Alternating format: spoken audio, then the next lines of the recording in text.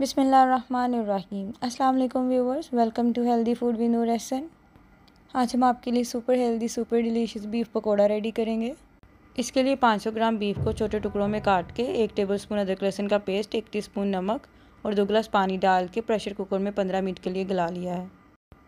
Beef को ठंडा करने के बाद इसमें आधा लीमू का रस निचोड़ेंगे।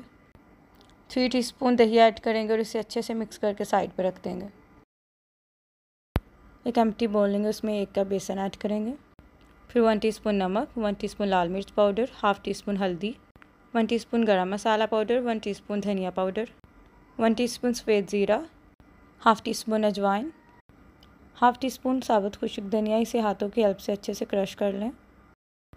वन टी स्पून खुश्क मेथी one four teaspoon chaat masala one four teaspoon अदरक powder one four teaspoon लहसुन पाउडर वन फोर टीस्पून कुटी लाल मिर्च। इन तमाम ड्राई इंग्रेडिएंट्स को अच्छे से मिक्स करने के बाद इसमें एक अंडा ऐड करें। इसे दोबारा से मिक्स करें और इसमें थोड़ा थोड़ा पानी ऐड करते हुए इसका थिक सा पेस्ट बना लें। अब इसमें मैरिनेट किया हुआ बीफ ऐड कर दें और इसे अच्छे से मिक्स कर लें। एक पैन में सरसों का तेल डालकर उसे प्री हीट कर लें। वन बाई वन पकौड़े ऐड करके इन्हें दोनों तरफ़ से अच्छी तरह से कुक कर लें।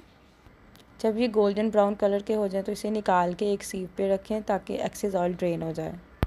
ये लें जी super crispy super easy beef पकोड़े रेडी हैं, जो कि खाने में इंतहाई मज़ेदार और बनाने में इंतहाई आसान है। इस ईद पे ये यूनिक बीफ पकोड़े बनाएँ और अपनी फैमिली के साथ इंजॉय करें। मैं दुआ गो हूँ, आपकी सारी ईदें खुशी भरी हूँ।